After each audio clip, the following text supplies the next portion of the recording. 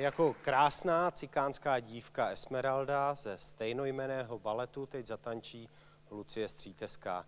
Připomenu, že tento balet Esmeralda vznikl na motivy románu Viktora Iga, který ho napsal v roce 1831. Už o pouhých 13 let později žil Perrault tento motiv přetvořil v balet, který byl poprvé uveden v divadle jejího veličenstva v Londýně.